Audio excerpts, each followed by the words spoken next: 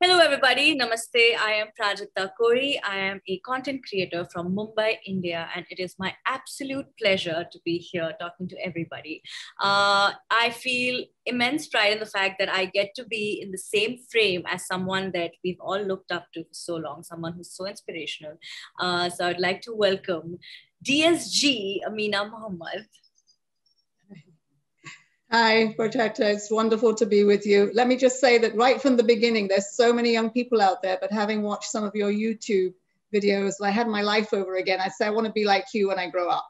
oh my God. Thank you so much. You have no clue how much that means to me. Thank you so much for doing this. Thank you so much for doing everything that you do for every little girl around the globe. Um, knowing everything that you have done, um, I wanted to ask you was there a particular incident that triggered your interest in doing all the work that you do, especially around gender equality?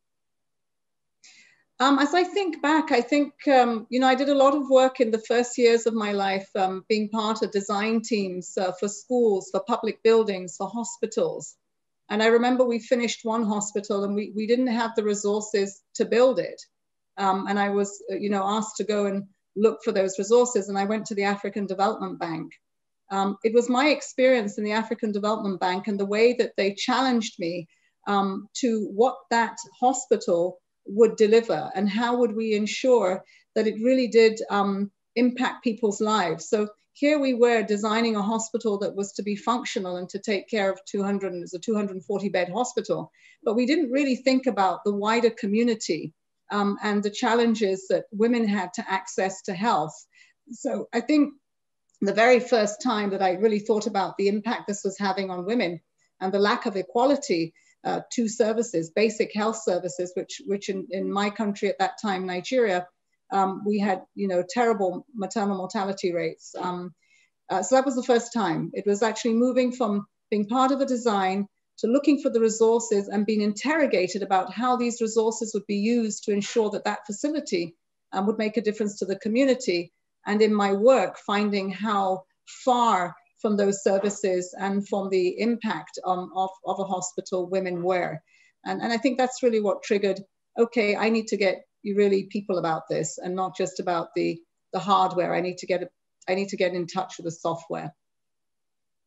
You know, we are in such a weird time right now where we're trying to get over a pandemic, and there have been tremendous health and economic losses that we know of. But given the way 2020 went, given the pandemic, I'm sure there's a lot of losses. There's a lot of um, um, uh, crisis that has been uh, created uh, or that has happened, but we aren't, uh, it's not in the light yet. We don't know about it yet. Um, how has the pandemic affected inequalities or is, how is it reversing the progress for women and girls especially? I mean, I'm sure a lot of these issues have not come to light yet, but they mm-hmm. will given the impact that we had last year. Yes, I, I, think many are coming to light already, but I mean, in 2020, we all embarked upon the decade of action for the Sustainable Development Goals, and suddenly there was this pause. Um, uh, but there were regressions. I mean, women were impacted most. Um, you, you found this in the economy, particularly in the informal economy, for which they are almost invisible, and yet they provide so much. So the informal economy was the first place that we saw women being hit in the lockdowns we also saw girls um, impacted by education because out of school um, and a lack of um, access to, um, uh, to, to, technology and the digital world. So, I mean, where everybody went online in many developed countries, this did not happen for millions of girls. Um, access to health, that was already a challenge for most women and girls. Um, but in the time of COVID, we found the competing demands uh, to try to respond to the health crisis um, and that also was competing with um, resources. And so we were finding, you know, vaccination programs, access to maternal health. Um, that again um, would, would exacerbate the progress that we've made um, on um, child and maternal health. but I, I, think other dimensions we didn't really understand as well, and probably this will be reflected in, in, in time to come. Uh, the mental health um, issues um, around those that were really, in some cases, incarcerated with their abuser.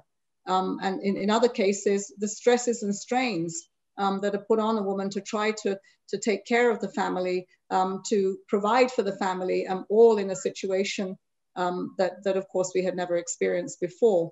And so the whole issue of unpaid care work, which is, which is something that is not understood as well, but we must uh, take that if we have to take anything out of uh, the COVID uh, crisis and experience um, into account.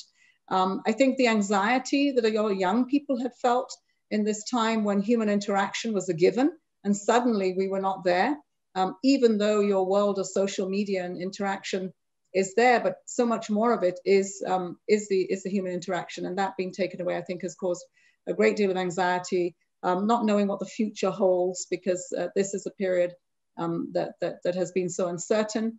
Um, and then, you know, very many realities. Um, climate change did not pause. Uh, while the rest of the world went into lockdown, climate change continued. Um, and for that, many uh, there has been many many who have suffered in that, particularly young people um, and women. And uh, and so I think um, yes, the challenges COVID really exacerbated. It's put more people back in poverty, um, but it it, it has uh, it has made us better understand um, what we have um, in order to deal with these challenges and the, with, these extremities. That is actually what i was going to ask you next. You know i know the dark the times are so dark but i uh, i like to look at the silver lining. I'm always trying to all of us are in these times. Um, what is the silver lining we can look up for? You know there's got to be something that came out good out of all of what happened Yes, I'm an optimist as well, incurable. Um, I, would like to sort of talk about the reality because I want people to understand that we do know um, and uh, that we that, that their issues um, are on the, are on the front burner. We're not leaving anyone behind. Um, so I think what COVID has done, it has brought um, about a much better understanding um, of where these gaps are and what we need to do to leapfrog. And we can do that in the time of COVID. Why? Because a lot of people are much more focused now on what happens to the money. Uh, the money in the public sector, the money in the private sector, the money in your pocket, um, and how best you use that for what you need and not necessarily what you want. Um, and I think that this is um, this has been a big eye opener for many. For the public purse, um, without the resources and with the demand um, of populations, there's been much more attention to governance. So there's more accountability. And you can see many more protests that are coming out where young people are demanding their rights to, to very basic things uh, but also stimulus packages that are being put together. We're having an opportunity to say we need more investments now to go green and, and we need connectivity um, so that schools um, are better connected, uh, so that health services are better serviced, uh, so the jobs and the skill sets that we need to close the digital divide. So I see lots of opportunities now where there is some resources available and they are in the response for a better recovery. I see a lot of attention given to the intergenerational transition. I think for the first time, we are actually saying it's not just about ticking the box on whether youth are in the room at the table, but are they leading? And are we listening? And are we allowing them to shape those agenda that go forward? Because certainly the future is cities, it's young people, it's technology. And that can happen now so that in COVID, let's respond so that that build back better is about a new era. It is about a new dawn, and that we don't come back to doing things the same way, that we take the opportunities of flipping the orthodoxy on anything and everything uh, to make sure we've got a much more prosperous um, and a much more safer, um, and, and I think a, world where um, we don't have to think about, um, we, we, we, make history the idea that um, we have to make a special effort for women to be at the table. Okay. Uh, now, here's a question that I was most excited to ask you. Um, and I love asking this to uh, all the amazing, inspiring women that I have the pleasure of uh, talking to. You know, given that your time is spent in doing such amazing but crazy amount of work, you know, that obviously makes our world a little better every day. What is the one thing you do in your day that is not productive at all? Okay, here we go. Um, it's mostly productive, I think, even in my sleep. Um, but the one thing that does happen, I walk through the door, I, I cook for myself, um, and I make the mistake of sitting in front of the TV and eating it and drinking it. And then there is this um, um, there's this exercise machine that's not far away that I'm supposed to get onto. Um, but then I become really unproductive. Um, and I finish and I just swing my feet up and I become a couch potato. And I do absolutely nothing except watch whatever it is that's on the screen and it's not very productive. so yes, that is my um, that is my two, three hours um, in the evening. And I know I have lots of emails and I have this, you know, pile of files that I brought home with me. Um, but between the time that I eat and that I have this ambition to go back to the files or climb on that exercise machine, couch potato. May I just say that I'm sure everybody listening to us right now is relating so hard. They're like, it's fine, DSG does it. it's okay. uh, moving on to again a very very uh, uh, important question that we all want to know about um, you know a lot of people look at you as an inspirational figure but we want to know who inspires you. So is there like a person is there a book a podcast a piece of music or art or anything that inspires you on uh, a day-to-day basis uh, you know and you think our festival participants should check out? Um oh wow. I mean you that, that, that's such a list of things and in each and every one of them there will be. Let me tell you about the books um, I walk through bookshops and I pick up books like they're sweets on issues that I think matter. Um, and it's such a broad range. Um, and I, I, think what I'm reading are the titles um, and, and trying to absorb them because they, they make a difference to whether we are speaking about the climate crisis or, or, um, or socioeconomic issues.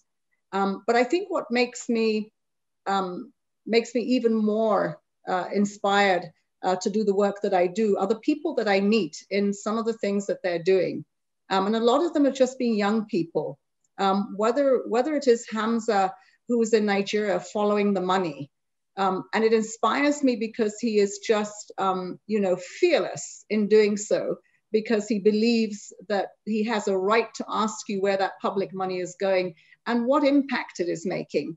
And I remember as a minister, um, thinking he's doing something that I can't do. And so that's really useful for me and, and to encourage that. But also to see while we are in Kenya doing a school feeding program. Um, and, and in that program, really seeing the difference that it made to, to children who may not get that, that meal. Um, and, and really, you know, when I went to visit it, it was less about me and they were just getting on with how cool this was to have a band and to be able to tap money into it and to have their meal. And, and to see the enthusiasm of this young girl um, who could do so many other things because she was so qualified. But what was she doing? She just looking into her community, really close up in front uh, to, to millions of children. And perhaps the last of the inspirational things that I've, I've seen more, more recently um, is when a young girl in my own home country decided that she would challenge the status quo about the age to run for office. Um, and, you know, it was, you know, we're not too young to run. Um, and then they eventually got this bill through. It took her a long time, um, but eventually they became, you know, ready to run. And I think that that's the forward thinking of it. So, you know, I, I come across people every day who maybe don't have a name, um, but they have a they have a heart and a soul and energy and inspiration and vision that is unparalleled. And that's what inspires me every day. And I'm so fortunate to have a job that I get to meet them. That is wonderful. Thank you, DSG. This was an absolute pleasure. I'm sorry for all the fumbles that came in every now and then. I'm just extremely okay. nervous right now talking to you. And I, this for sure goes as one of my favorite days. Uh, uh, so thank you so much for this. And uh, you're inspiring, you're amazing. Please continue doing everything that you're doing. We all look up to you, and you are wonderful. Thank you so much. And I'd say the same to you. I mean, this is where we get our inspiration. And, and this journey really is about us accompanying each other. Um, and everyone's got something to add. So I hope that you're going to enjoy this festival. You're going to be challenged um, to flip the orthodoxy, um, but that you're also going to engage individually and collectively um, for the actions that are needed uh, for the paths to, as you say, the silver lining uh, because yeah. that must happen. And, and uh, I just always close with Mandela, who said, everything seems impossible until it's done. That's right. Thank you. Thank you so much. You're welcome.